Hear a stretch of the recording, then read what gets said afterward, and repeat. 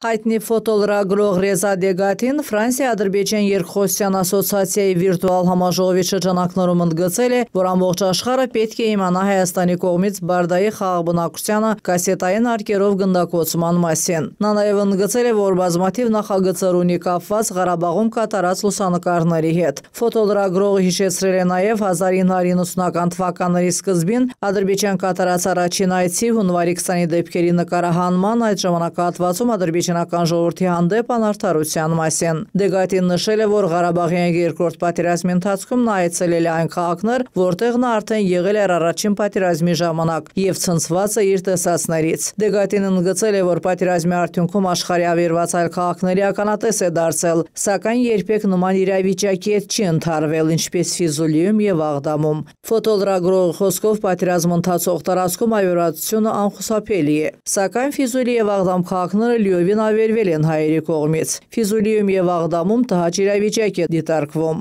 Ֆիզուլիում քանդված նրի պատերի արանքում ծառեր են աճել։ Քաղաքին նայելիս միայն ծառեր են երևում։ Աղդամի իսկական հերոսիմա է։ Միայն քանդված պատերն են երևում։ Ռեզա Դիգատին հավելել է, որ 90-ական թվականների նրա տեսած քաղաքներից եւ գյուղերից ոչ մի հետք չի մնացել։